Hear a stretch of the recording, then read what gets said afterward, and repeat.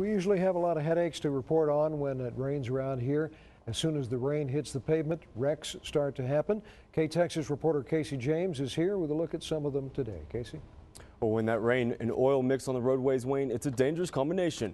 The Department of Public Safety says most of the accidents are from people just not slowing down. A line of storms passed through the area this morning, bringing a good solid rain.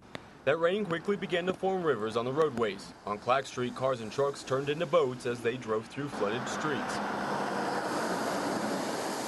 Now, for the most part, drivers were careful on these streets, but on the highways, it was a different story. This car heading westbound on I-20 hydroplaned and slammed into the guardrail. No one was hurt, but the Department of Public Safety told K-Texas those guardrails have saved numerous lives.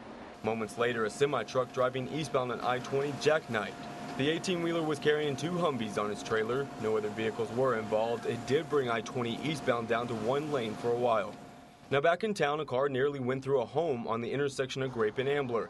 According to the Abilene police, this accident was not weather related. An elderly woman was driving westbound on Ambler Avenue when she failed to stop at the traffic light.